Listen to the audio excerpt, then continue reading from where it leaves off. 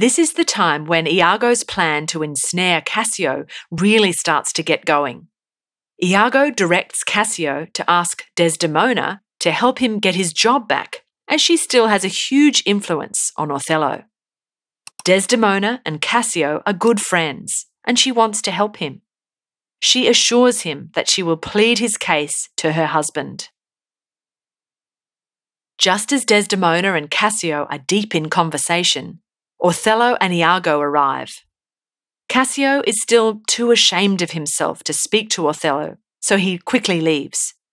Iago jumps at the chance to twist the situation and explains that Cassio must have something to hide, or else he wouldn't slink away like a guilty man. Desdemona begins to plead Cassio's case, unaware that her husband now has a greater reason to dislike him. Othello has a lot to think through now, so he asks to be left alone. When they are alone, Iago begins to spin his web of deceit and reminds Othello of how close Desdemona and Cassio have always been.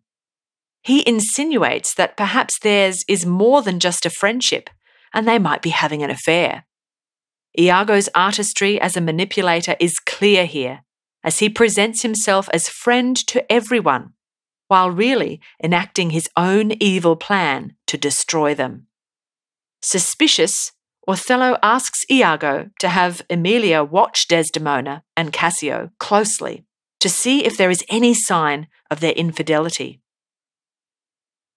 Othello considers his worst fears that Desdemona no longer loves him because he is too old for her, because he is black, and because he has the rough manners of a soldier rather than a nobleman. He works himself up into a headache